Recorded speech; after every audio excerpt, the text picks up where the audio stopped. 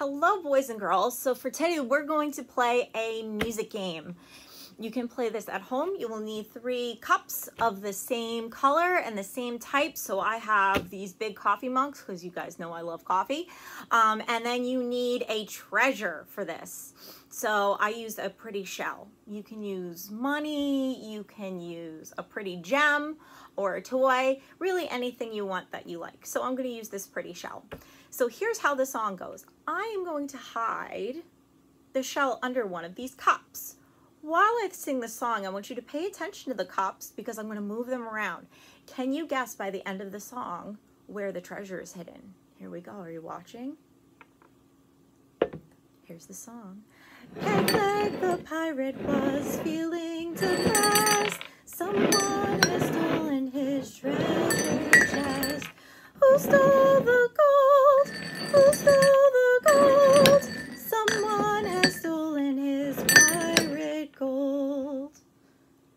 Can you guess where the shell is? Did you guess this cup? Let's see if you're right. nope. Did you guess this cup? Nope.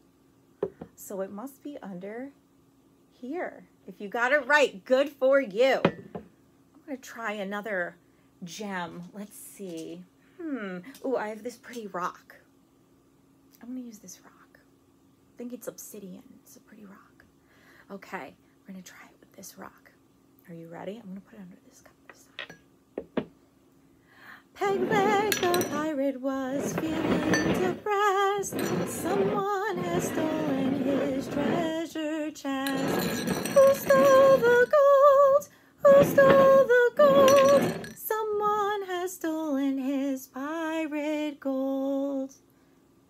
Can you guess what cup it's under? Let's see. Is it under this cup? No. Is it under this cup? Yeah, you got it right. Great job. So tr let's try it one more time. And can you sing the song with me? Here we go. I'm going to put it under this cup this time. Here we go. Pegleg the pirate was feeling